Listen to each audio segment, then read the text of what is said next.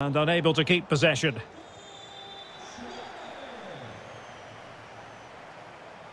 Making progress. Can he put it away?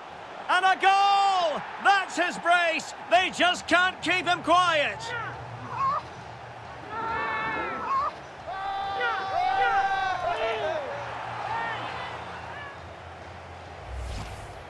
Well, here's the replay. He does well to find that bit of space in the box, and then he shows a lot of composure to finish it off. That's a good goal.